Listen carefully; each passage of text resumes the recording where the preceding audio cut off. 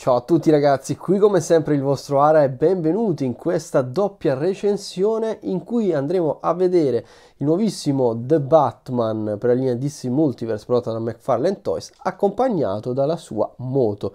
Ragazzi si preannuncia una recensione succulenta, prima però volevo ricordarvi che eh, domani sabato sarò al Napoli Comic Con tutta la giornata, credo. Quindi, se volete fare un salto, mi trovate lì in giro. E in occasione del Napoli Comic Con, attenzione, metterò la spedizione gratuita per tutto il weekend, quindi da oggi fino a domenica, sul sito per qualsiasi ordine, ragazzi qualsiasi ordine, quindi è come se foste in fiera anche se non ci potete andare ordinando dal mio sito, non avete spedizione, quindi qualsiasi cosa sarà spedita gratuitamente, quindi approfittatene assolutamente. Allora, vediamo le confezioni, questo qui è il Batman, la solita confezione DC Multiverse, nulla di incredibile da vedere, comunque abbastanza compatta ed elegante in realtà sul nero e poi abbiamo la moto, eccola qui, molto molto figa questa confezione, vedete, anche questa abbastanza compatta, qui fa vedere le altre figure disponibili, ma direi di non perdere altro tempo su queste confezioni, andiamo subito a vedere le nostre figure fuori da esse.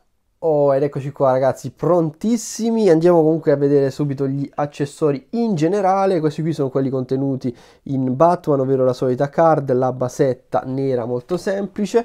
Poi abbiamo per Batman eh, questo spararampino, eccolo qui tutto nero, con questo peg. E poi abbiamo invece questa mano, vedete, intercambiabile, che però, attenzione, era presente nella moto. Questa non è presente in Batman quindi se volete questa mano è presente se acquistate la moto e poi abbiamo naturalmente la card della moto ma appunto andiamo a vedere la moto che è dotata di quest'altro accessorio vedete ecco qua questa piccola basetta da mettere sulla ruota per reggerla in piedi perché senza non ha modo di reggersi in piedi a meno che chiaramente non ci posizionate sopra Batman. Comunque vediamo questo gran bel pezzo di veicolo ragazzi perché è fatto veramente bene.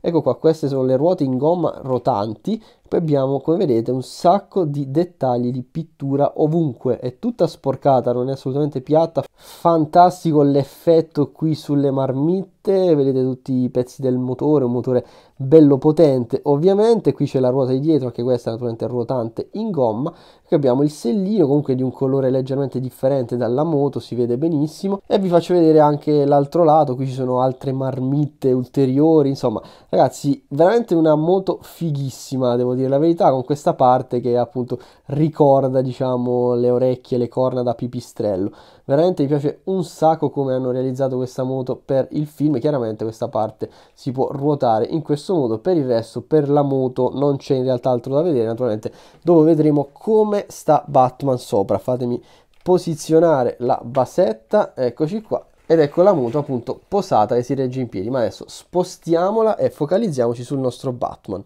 Ed eccolo qua ragazzi, cambio di inquadratura, zoomino sul volto e devo dire che la realizzazione del viso è fatta veramente bene la parte appunto scoperta ricorda molto eh, la mascella diciamo la bocca di Pattinson ma gli occhi sono fatti veramente bene e la cosa che mi piace di più in realtà è proprio questo sguardo che non è centrale ma guarda verso un lato non è un errore chiaramente di questa figure ma tutte sono fatte così col Batman che guarda verso un lato secondo me è figo lo dovrebbero fare con più figure perché dà un po' più di vita secondo me al viso, veramente ben fatto, veramente figo, anche il painting qui molto bella, la sporcatura, le labbra anche dipinte alla perfezione devo dire, tra l'altro con del painting lucido al contrario del resto del viso, il cappuccio fatto molto bene, si vedono anche tutte le cuciture e qui vediamo il resto del costume, anche questo veramente molto ben realizzato, qui vediamo il mantello in plastica comunque super morbida in realtà che poggia appunto su questa parte centrale, a proposito di mantello bello ragazzi vi do un piccolo suggerimento che molto probabilmente attuerò io stesso, ovvero sostituire il mantello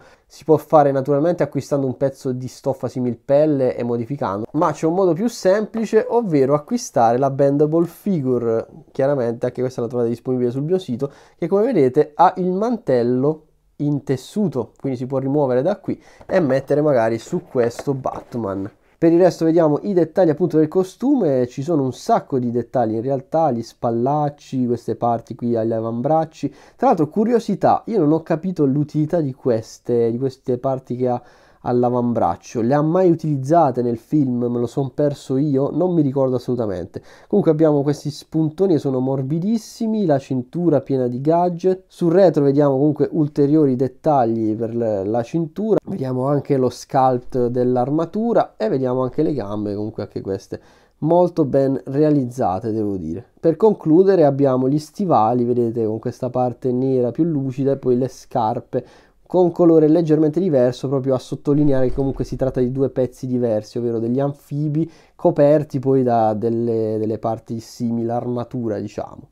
Comunque ragazzi andiamo a vedere le articolazioni di questo Batman, abbiamo la testa che può guardare verso l'alto in questo modo qui, potevano fare leggermente meglio, verso il basso in questo modo qui, movimento laterale in questo modo, rotazione laterale ovviamente, l'apertura del braccio a 90 gradi, figata il fatto che ci sia questa spallina in plastica morbida che appunto non limita l'articolazione ma la segue perfettamente, veramente ben fatta, abbiamo una sorta di butterfly joint comunque all'interno, in su e in giù e anche in avanti e indietro, rotazione naturalmente al bicipite, chiaramente il braccio fa il 360. C'è il piegamento al gomito, pazzesco ragazzi, a dir poco, piegamento al polso, rotazione al polso, il mezzo busto abbiamo movimento in avanti e all'indietro, finalmente hanno leggermente migliorato questa articolazione al busto, anzi non leggermente, guardate qua che bel movimento all'indietro che fa e in avanti invece c'è il movimento però comunque un po' limitato, il più lo fa all'indietro.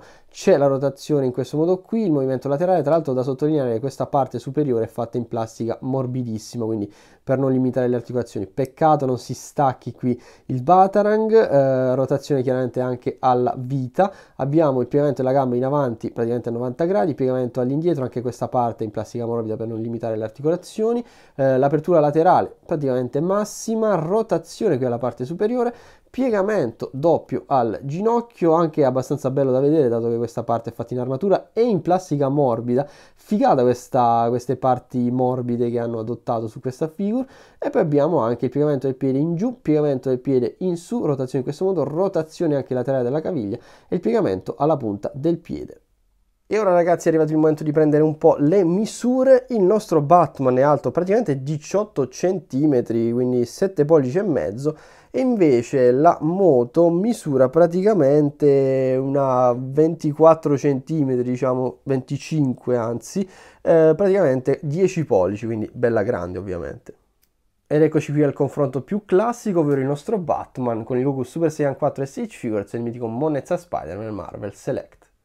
Oh, ed eccoci qua ragazzi con il nostro Batman che girella in allegria sulla setta rotante in sella alla sua moto e diamo un po' i voti. Allora, per quanto riguarda gli accessori, vabbè, do un 6 a sufficienza, sono proprio lo stretto indispensabile. Per quanto riguarda le articolazioni mi hanno sorpreso molto riguardo Batman chiaramente, sto parlando di Batman, eh, molto figo il fatto che la spallina soprattutto segua perfettamente la spalla, anche il busto hanno migliorato l'articolazione, qui mi sento di dare un bell'otto per quanto riguarda l'estetica, devo dire che rispetta abbastanza bene il Batman visto del film. Chiaramente ci sono delle leggere imprecisioni qua e là, ma nel eh, complesso devo dire che è un'ottima rappresentazione di quel Batman. Comunque anche il mantello non mi dispiace in realtà. Pensavo fosse più rigido, invece la plastica è molto morbida, come vedete poggia anche abbastanza bene sulla moto, anche in maniera abbastanza naturale. E anche il Batman stesso sulla moto la cavalca anche in maniera abbastanza naturale chiaramente si può posizionare anche un po' meglio volendo. Per quanto riguarda la moto, ragazzi, l'estetica è pazzesca, fatta veramente benissimo. Uh, mi piace un sacco anche le sfumature che ci sono qua e là. Quindi estetica generale devo dare anche qui un 8 pieno. Secondo me hanno fatto veramente un bel lavoro e quindi nel complesso ragazzi do il voto diciamo al set o anche alla sola figure di Batman per me qui è tutto da 8 pieno veramente un bel lavoro da parte di McFarlane Toys perché comunque ci dà una figure eh, che rappresenta molto bene comunque il Batman, però ad un prezzo veramente contenutissimo, così come anche la moto che è un accessorio chiaramente in più, ma che veramente fa scena molto molto bene con questa figure. Ragazzi, fatemi sapere se siete d'accordo con me con il voto, fatemi sapere appunto il vostro parere su questa figure, sul film magari con un commento qui sotto, ricordatevi che da oggi fino a domenica è attiva la spedizione gratuita per tutto quello che ordinate sul sito. Eh, detto questo, ci vediamo magari al Napoli Comic Con. Ciao Dara da The Batman con la sua moto collezionate sempre.